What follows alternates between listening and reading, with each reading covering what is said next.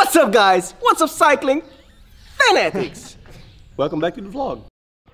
All right. Let's see what we're dealing with. Oh, the sun is out, ladies and gentlemen. Look at that. That's a little bit different to yesterday. Morning. Morning. We're going down for breakfast. Let's see what kind of buffet situation they got going on. Yeah, He's already in his kit. that's what he said yesterday. You did say that yesterday. You did say that. I did say that. I'm not in my kit. I only just woke up. oh, you know, when a hotel's got chocolate cake, chocolate cake for breakfast, and multiple options of chocolate cake, it's a good hotel. But good morning, your faces, to a brand new day and day number two here in Italy. We've just been down to get some breakfast. Breakfast is done. And now, and now we are gonna go for a bike ride. Oh boy, I'm so happy that the sun's out today. I mean, it's still cloudy, but it's, it's much brighter and it's dry. And the fact that it's dry is the main thing. E andiamo, adesso Alright, ci fermiamo. we rolling now. Second time looking out, found a memory card. All right, Tim's gonna be behind the camera today, in the uh, in the van, following us. Gonna go out for a little bit, bit of a ride with the uh, in Emilia Romagna guys. This is the bike that they've hooked us up with for, for a few days. Lovely little Beast. Fond, Fondriest, Fondriest whip with uh, with one. Is that 105? Yeah, 105. Back on uh, back on mechanical gears. Don't know how I feel about that. Oh, also, Just get on your bike. no, it's a, it's a good, it's a, oh, it's a great bike. Where's your Where's your bolt? In my pocket. My wife. Here's my wife. One issue we're gonna have with this bike, right, is the um, the bloody Europeans have their front, have their front brake on the left. Do you have your front brake on the left as well? That's normal. No, it's not. But I, I've been on a mountain bike once where it was reversed and you are gonna have the hardest time descending, man. It's, it's not. It's not normal. Normal is right. Right is the front brake. Whatever. also, Jasper's going leg warmers today. What's this all about? He's got leg warmers I'm and, pro. and I'm, aero I'm doing like the pro warm leg thing. I'm not It's super wet. All right, so we're just rolling out now. Gonna go for a little bit of a spin today. Hope it stays dry. We've been riding for like two minutes, and the town that we're staying is staying in. Uh, I forgot the name of it, but basically it's the home of. Got some crazy Dutchman in the background. But basically, where we're staying is the home of Marco Pantani, or where where he used to, where he came from. And this is the Marco Pantani Museum, full of like jerseys and old bikes and memorabilia and stuff. It's pretty cool, eh? Tim, do you reckon we can hook up Zwift on this? That is an old turbo trainer. This is like the first ever smart trainer, I reckon. this is Pantani's first bike with, uh, look at that gearing system, gearing ratio, three speed with the down tube shifters. Mate, you gotta be strong to push that bike up the mountains. Pedal, pedal bikes weren't the only bikes that Pantani used to ride. This is his motorbike, as we can see there. He likes to ride motorbikes and play football. It is pretty incredible to see how the bikes have changed over the years. Check out his custom saddles he has on all his bikes. It has the Pyra and then Marco Pantani stitched into it. How cool is that? Alessandro, what is the name of this town?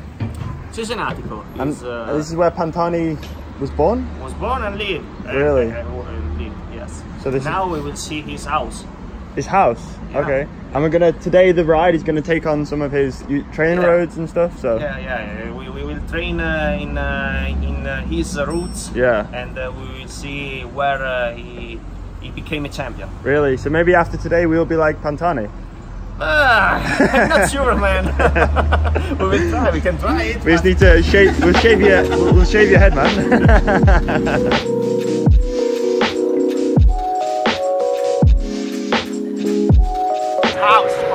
so this is where, this is where Pantani used to live before he passed away. That is a pretty sweet house. Pretty cool to see all the stuff about Pantani. Jasper, do you take that count, do you take that uh, selfie stick everywhere on your rides? I take it everywhere. Yeah? Not in the race, but if you see me do a vlog, it's with this thing. So now you know behind the scenes of Jasper's vlog, he uses a GoPro with a selfie stick. That's it. Just in LA. Julius uh, Caesar crossed this river. That's why he's having a statue here. Basically. I don't know. It's warm. It's Pretty warm. It's warm. I'm really happy about this weather, man. I noticed. I noticed Jasper's taking his leg warmers off. Already. Has he though? Can we tell? But I have the fur. Look.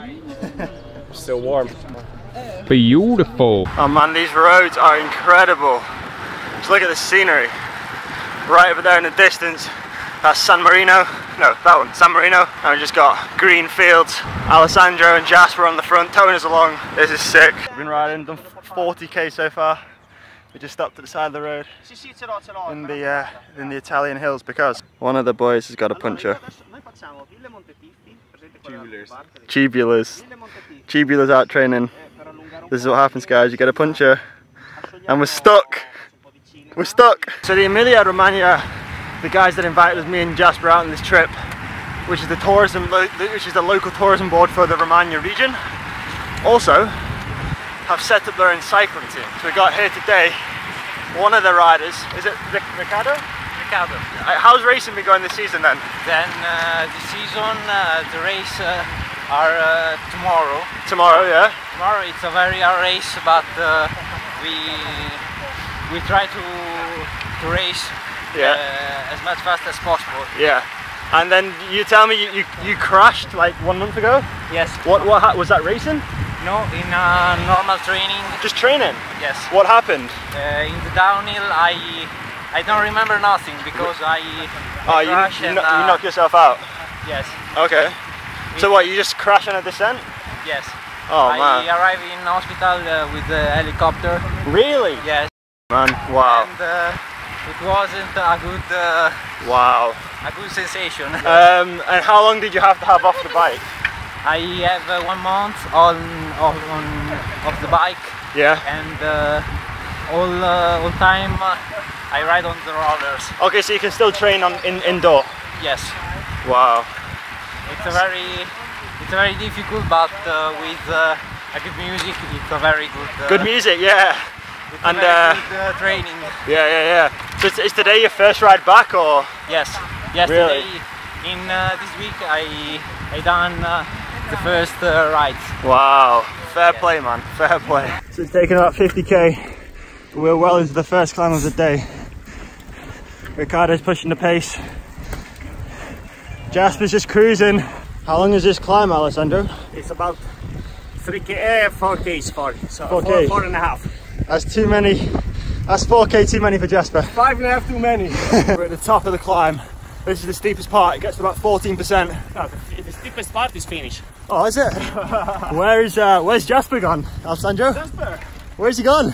ah, he's gonna save his legs for tomorrow Nah, because he wanna attack me. he's, he's off the back. There he is. Fuck, Jasper. There he is.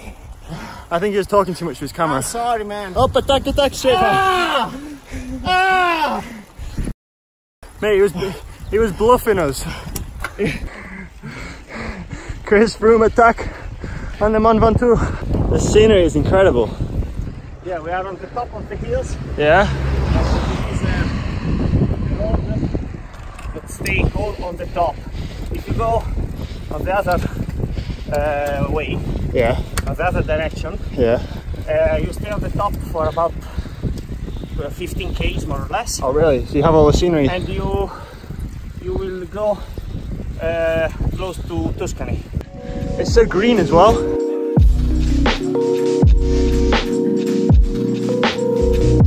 What is the gradient, Jasper? It says 12, but it's no 19.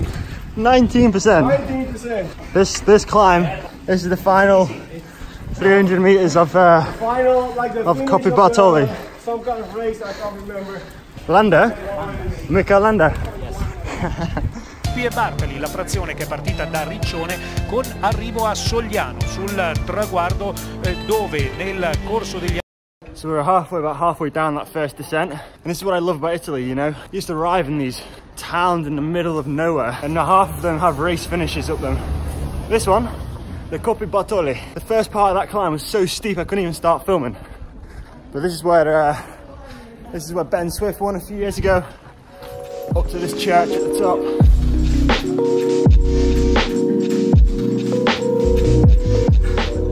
Cancellara. Hey, look who's here. The guy so I have. Have you, uh, Come here, guys. and Antonio, hai trovato la strada. I think he's still drunk. Have you, uh, have you sweated out all the sambuca? No, no, No. no. Speak about Sambuca. Today I'm serious. So actually, this place is a, is a, is part, Yeah, have, a- have, Yeah, yeah, have a minute, you're out of breath. man. Uh, I can, I can, I can talk. Go, go. So it's a particular story. Byron, Lord Byron. You know Lord Byron? No. He's a famous poet from England from the 18th century. And there is a legend that he was coming here by himself uh, as a secret because he has here, he had here uh, a lover. A lover from, from a local lover. Little side piece. So it was a hidden story, really hidden story. But after some years, but not not even anymore because there is a square. Yeah. so So basically, we keep stopping and we're going through all these little villages at the top of the climbs, and the guys are giving us a little bit of history about them and whatnot. But I think we've got about five more k now, and then we're going to stop somewhere, get some food, and then get a lift back in the uh, get a lift back in the van. Mate, I said it last time, and I'll say it again. Emilia Romagna in Italy is incredible. The scenery is incredible when these guys said to me, Do I want to come back and do another trip? Like, I didn't even think about the answer. It was just yes. Time to descend again. That's two two climbs done today. The Lamborghini factory isn't far from where we're staying. This is a prototype of the 2020 Aventador called the Aventador Tri, and uh, there's Jasper.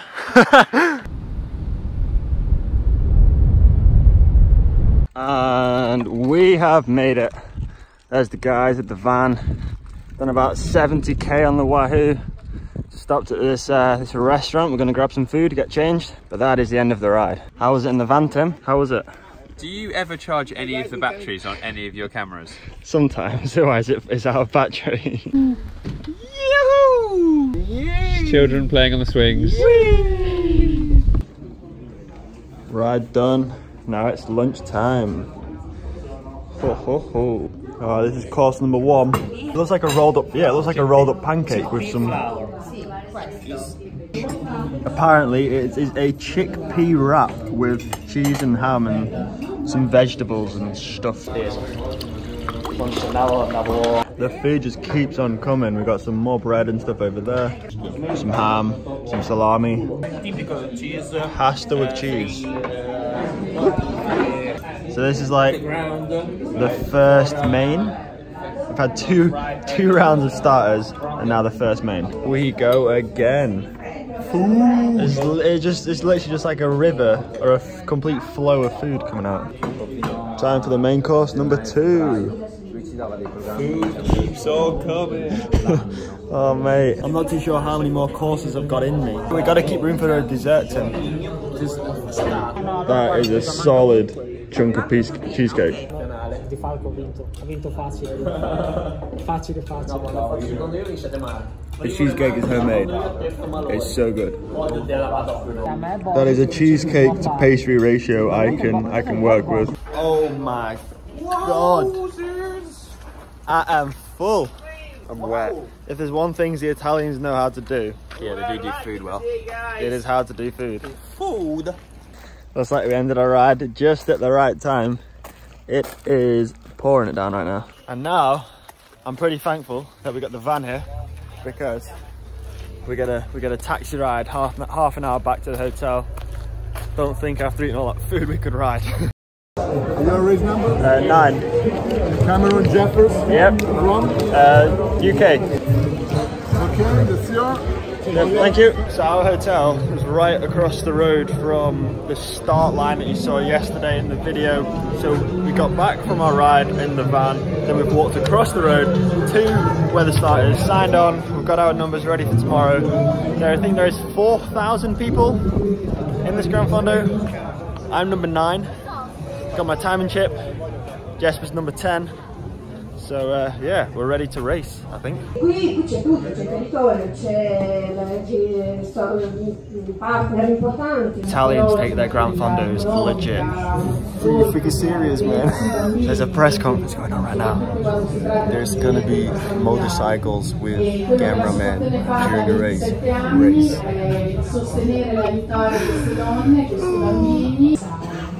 Giusto per contestualizzare, abbiamo uno stand There is Andrea Taffi, Taffy. ex-Italian professional cyclist.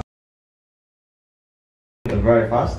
And um, also what I'm looking forward to is, is having the long climbs. In the UK, the longest climbs are maybe five to 10 minutes, but here in Italy, I mean, tomorrow we're, we're racing up 20 minute climb. So it's a whole new dynamic for, for me and, and also Jasper, who, who aren't used to that. So yeah, it should be really, really exciting as long as it stays dry. And if it doesn't? Uh, well, I, I'm British, so. so we got a Lamborghini here. Classic, we're in Italy. And apparently we just chatted to the policeman there, and this is an actual working Lamborghini. Hey, I wouldn't mind being in the police force if I got to drive I wanna that. be a policeman now. yeah. you don't want to be a pilot anymore? no, I'd rather be a policeman. That's insane. It's got like a siren thing in the top.